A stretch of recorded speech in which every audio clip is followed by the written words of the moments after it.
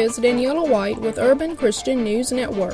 Thank you for joining us on this Thursday, June 6, 2013. Here are the top 10 news stories that you need to know about right now. First, according to Christianity Today, America's largest Protestant denomination released its annual self assessment today, and most of its metrics went in one direction down.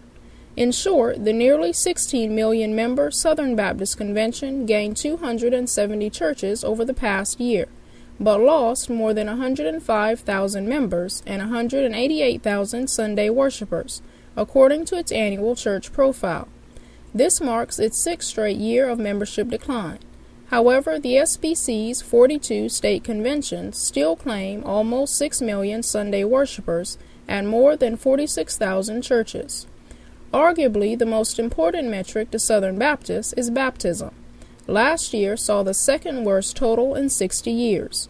The self described reaction of Frank Page, president of the Southern Baptist Executive Committee, was God forgive us and God help us. Second today, according to Charisma News, pro life groups on Wednesday launched a national Stop the Gosnells coalition to urge Congress and state lawmakers to take immediate action to address the lack of oversight and brutal practices occurring in the late term abortion industry. The coalition, led by the national pro life group Susan B. Anthony List, is dedicated to exposing the horrors of late term abortion, most recently uncovered by the trial of convicted murderer Kermit Gosnell of Philadelphia. The coalition website, stopthegosnells.com, features an action center where grassroots activists can contact their elected representatives to demand action. The initial featured action is to encourage support for Representative Trent Franks' nationwide Pain Capable Unborn Child Protection Act to protect babies from abortions past 20 weeks gestation. Third, according to CBN News, people can believe a lot of crazy stuff nowadays and not be fired from their jobs but a senior research associate at the Catholic University of Leuven learned that you better not believe that God can heal.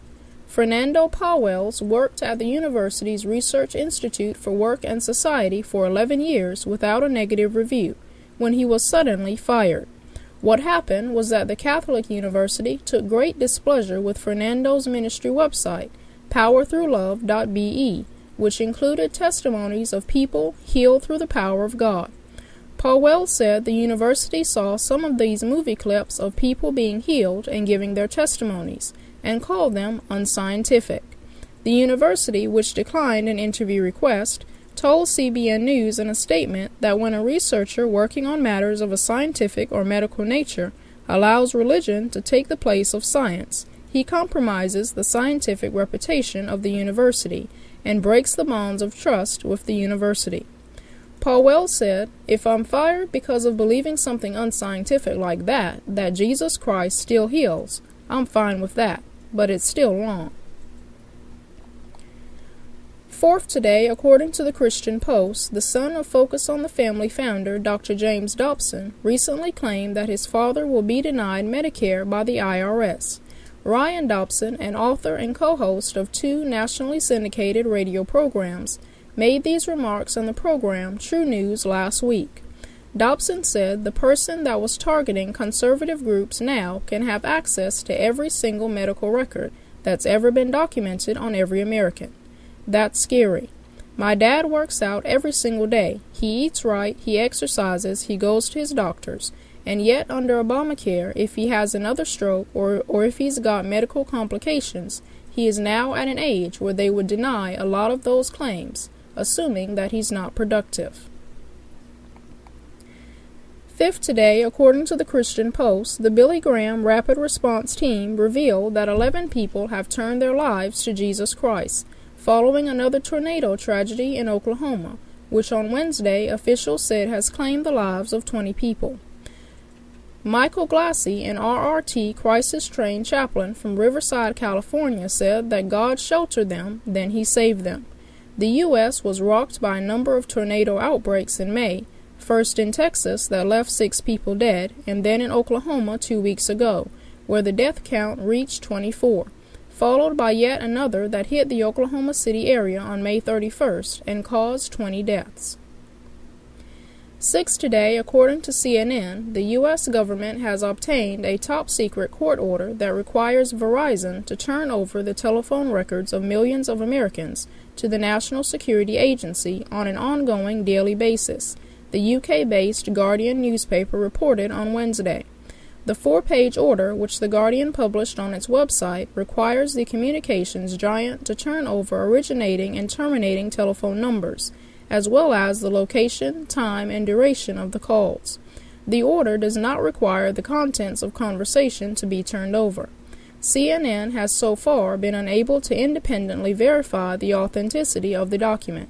If genuine, the order gives the NSA blanket access to the records of millions of Verizon customers' domestic and foreign phone calls made between April 25th, when the order was signed, and July 19th, when it expires. Seven today, according to CNN. Six people are dead, but 14 people have been pulled out alive in a Philadelphia building collapse.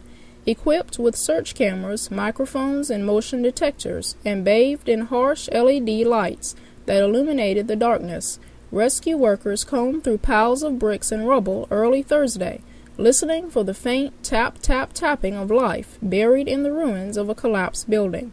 A day earlier, the side of a building under demolition had given way and toppled onto a Salvation Army thrift store next door. Throughout the day on Wednesday, dispirited emergency responders had carried out six people in body bags, but they received a momentary jolt of joy when shortly before midnight they pulled out 61 year old Myra Plekan alive. She was the 14th survivor. Eighth today, according to CNN, a federal judge has granted a 10 day restraining order that blocks U.S. Health and Human Services Secretary Kathleen Sebelius from applying a policy keeping children younger than 12 years old from being prioritized for available adult lung transplants. The move by District Court Judge Michael Baylson of Philadelphia could improve the chances for Sarah Murnaghan, a 10 year old Pennsylvania girl with cystic fibrosis to get a new set of lungs. The girl's parents have said that Sarah could die within weeks without a transplant. In a written statement, the family added, We are experiencing many emotions relief, happiness, gratitude, and for the first time in months, hope. The Murnaghans had argued that since the number of children's lungs available through organ donation programs is so small, Sarah and other pediatric patients like her should be added to the list of people waiting for adult lungs, prioritized by severity of their illnesses. Ninth today, according to Reuters, President Barack Obama will encourage American schools to engage their digital era students by providing more laptops with high speed internet connections and fewer textbooks and lectures.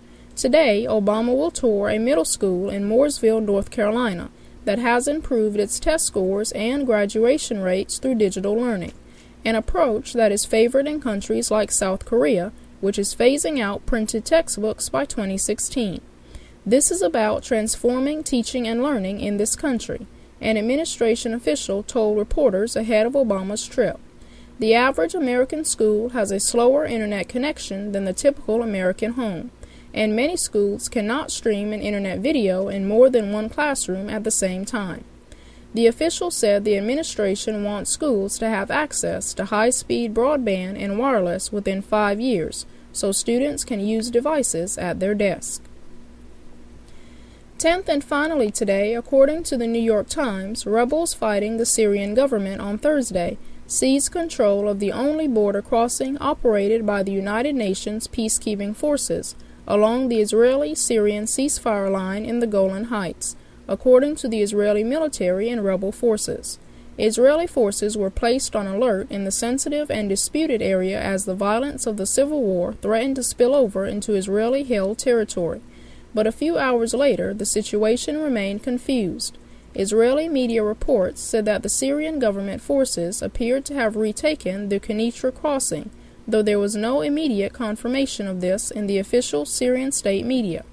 Ahmad al Bashir, a member of the local revolutionary committee in the Quneitra area, who was reached by Skype, insisted that the crossing was still under the rebels' control and that the entire province of Quneitra had been liberated. That's today's top 10 news stories. You can read all about these stories and more at urbanchristiannewsnetwork.com.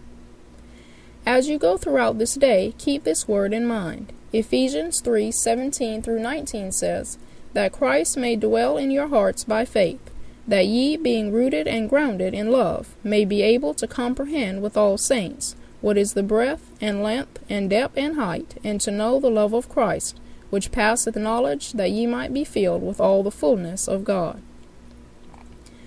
God loves you, He always has, and He always will. He loves you so much that the Bible says in John 3:16, "For God so loved the world that he gave his only begotten son, that whosoever believeth in him should not perish but have everlasting life." If you don't know the Lord Jesus Christ as your Savior, why don't you get to know him today? Just believe in your heart that Jesus Christ died, was buried, and rose by the power of God for you. Pray and ask him to come into your heart today, and he will. Romans 10:13 says, "For whosoever shall call upon the name of the Lord shall be saved." Thanks so much for listening. I'm Daniela White with Urban Christian News Network. May God bless your day.